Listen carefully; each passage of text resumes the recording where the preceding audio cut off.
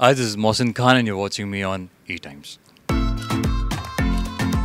ये तो बहुत परेशान करती है इसका तो पता नहीं क्या हो गया यार ये कहाँ से क्या बोलने का यार मैं लास्ट मिनट पे मेरे को बोला कि सेट पे पहुँचा तो पता चला हीरोइन चेंज हो गई ईशा आ रही है।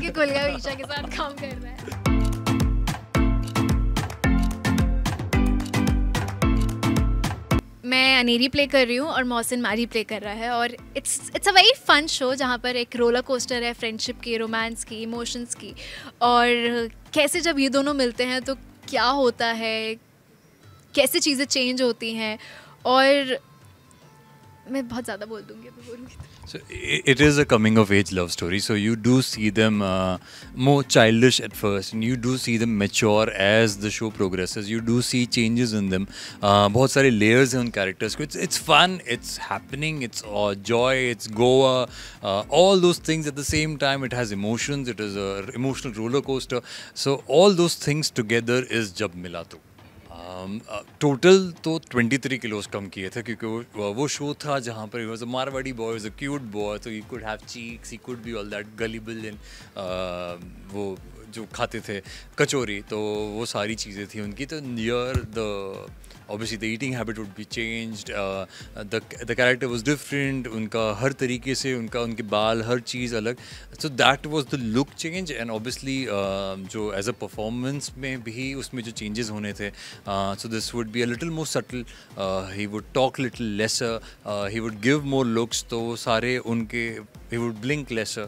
So वो सारी चीज़ें जो है वो एक सबकॉन्शियसली consciously एक चेंज करने की कोशिश की। अब लुक तो ऊपर से मिल गए भगवान जी से। मेहनत लेकिन शो के लिए बहुत ज़्यादा करी है। आ, मैं अनेरी है जो एक शेफ़ एक बे- यार एक बेकर प्ले कर रही है उसका खुद का कैफ़े है क्यूट सा। तो वो कैसे मतलब उसकी थेरेपी यही है कि वो कैसे खाने में बिज़ी है खाना बनाने में बिज़ी है उसके लिए it is like therapy for her it is therapeutic to her कि उसको बेकिंग का बहुत शौक है। उसकी कुछ चीज़ें बहुत अज़ीज़ हैं उसके दिल की जो छीन ली जाती हैं। और वो कैसे इनसे लजीज खाना बनाती है। वो कैसे इनसे मिलती है and then how these to come closer और एक बहुत ही प्यारा ट्विस्ट है स्टोरी में। जो जो आप देखोगे तो अगर मैं बताऊँगी तो it will give away too much but I really want you guys to watch it because वो इतना प्यारा लेयरिंग है इन दोनों के बीच का जो वो बाद में रियलाइज़ करते हैं एंड उस नोक झोंक के बाद जब फ्रेंडशिप के बाद एक हल्का सा प्यार ब्लॉसम होता है ना वो उमड़ता है वो बहुत ही खूबसूरत सी चीज़ है। दैट इज़ ट्रू मैंने कुछ कुछ सीखा कुछ कुछ नहीं भी सीखा और सीख लेंगे यार मतलब अनेरी तो सीख ही रही है। मुझे कुकिंग का इतना शौक है नहीं बट अनेरी की वजह से मैंने काफ़ी वीडियोस देखे, बहुत सारे वीडियोस देखे। और सही है, कुछ लोगों को खाना बनाने बहुत अच्छा लगता है, वो उनके लिए थेरेपी का काम करता है। आई थिंक अनेरी के लिए भी वही है। ईशा के लिए अभी तक तो वो नहीं है बट कभी हो जाए तो पता नहीं। और वो आपको कहीं भी महसूस नहीं होगा। मतलब उसका परफॉर्मेंस और वो वो कहीं भी उस चीज़ की कमी नहीं है।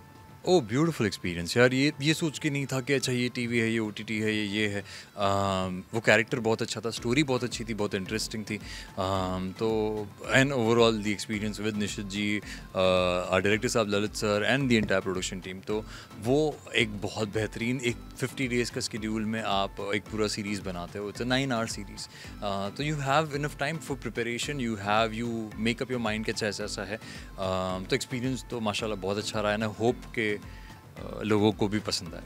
आई थिंक हमारी केमिस्ट्री को भी लोग बहुत पसंद कर रहे हैं जो उन्होंने ट्रेलर देखा है बट वो कुछ भी नहीं है, उसका शायद टेन परसेंट है, जो शो है it is ninety percent of it तो और हमें लकीली एक बार पता है क्या होता है, जब नई जोड़ी आती है ना, उसको एक्सेप्ट करने में बहुत मुश्किल होती है बट हमें बहुत प्यार से मिल, प्यार से एक्सेप्ट किया, बहुत प्यार मिल रहा है। So I really want you guys to watch the show because उसमें बहुत सारी चीज़ें हैं, बहुत सारे सरप्राइजेस हैं।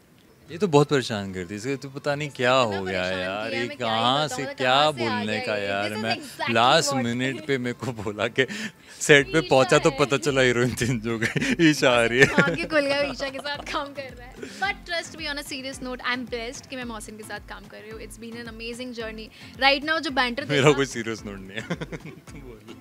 मैं जो रो रो के आँसू रोई हूँ ना मैं खून खून के आँसू रोई हूँ मैं। जो आंखी से ना टपके वो लहू क्या है? अरे शायर साहब बस कर लिया जैसे तैसे काम। आज मिल गए आज कल कभी मत मिलना।